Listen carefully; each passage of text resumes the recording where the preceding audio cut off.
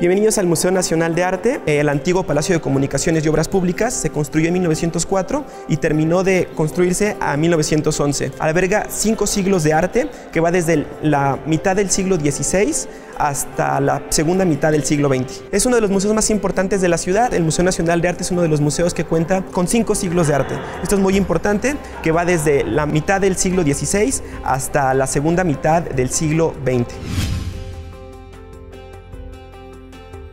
El antiguo Palacio de Comunicaciones y Obras Públicas fue construido por el arquitecto italiano Silvio Contri. Su construcción inició en 1904 y terminó en 1911. Este majestuoso palacio tenía la facultad de regir los principales caminos, vías ferroviarias, telégrafos y comunicaciones del Porfiriato. Era un lugar muy importante y tenía toda la idea de un lugar palaciego. ¿Qué significa esto? Que estaba inspirado en los palacios renacentistas de la época de Silvio Contri. El Palacio de Comunicaciones y Obras Públicas tiene características principales. A la entrada, en el vestíbulo, vamos a encontrar una arquitectura ecléctica. En este caso podemos ver también la relación de la herrería, el trabajo de los leones rampantes, por ejemplo, y todo el signo de la modernización en México. Es una arquitectura ecléctica que resguarda desde el neoclásico hasta el gótico, con algunas de las imágenes que podemos observar en tanto a las farolas, con las quimeras, que son figuras de mujeres, ¿no? con cuerpo de, de león, alas de águila, y también la actividad y la actitud de los leones, leones rampantes que representan esta seguridad y este resguardo de un gran palacio de comunicaciones y obras públicas. Uno de los aspectos importantes del vestíbulo del Museo Nacional de Arte son los medallones de bajo relieve que contiene dentro del vestíbulo, que tiene alusiones, por ejemplo, a un gorro frigio, que tiene que ver con los ideales de la Revolución Francesa, libertad, igualdad y fraternidad.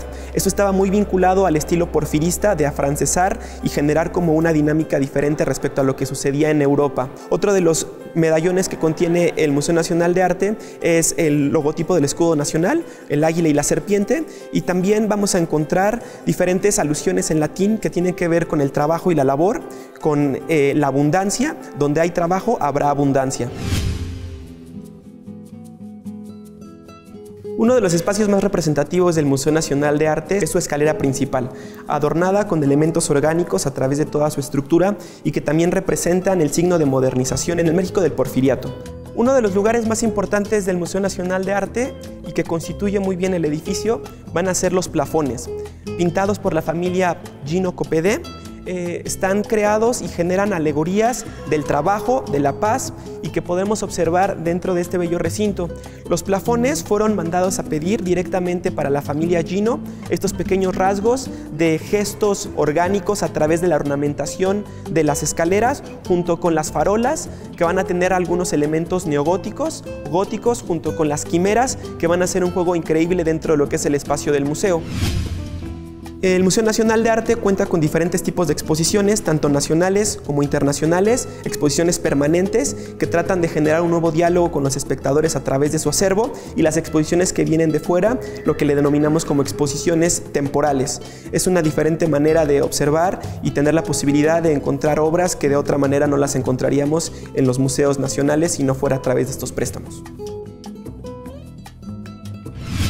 Nos encontramos en el salón de recepciones donde era el espacio en donde el secretario de Comunicaciones y Obras Públicas invitaba a las personas a pasar para poder generar como estos encuentros diplomáticos. En la actualidad, eh, el Museo Nacional de Arte ofrece este espacio para conciertos, actividades educativas y académicas que se generan a través de actividades paralelas de las exposiciones del museo. También fue construido eh, mediante bases francesas y apoyado por la familia Copedé para generar una de las cosas más lujosas que serán los plafones que tenemos en la parte de arriba. Estas alegorías constituyen todo lo que va a ser una representación y la constitución de lo que va a ser el Estado moderno mexicano, cómo se tenía que representar a través de la libertad, de las riquezas, de la sabiduría y de la igualdad.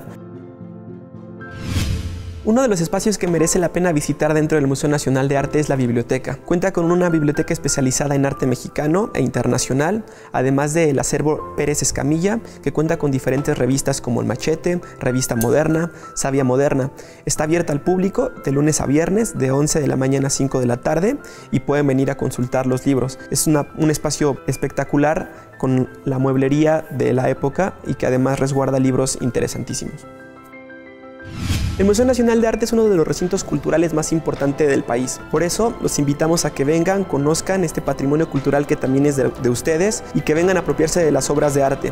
Es importante que vengan con una mirada crítica, audaz y que hagan las preguntas pertinentes a cada una de las obras de arte para que les dé respuestas que ustedes mismos conocían. Nos encontramos en Tacuba 8, Centro Histórico, Museo Nacional de Arte y esperamos que nos puedan acompañar.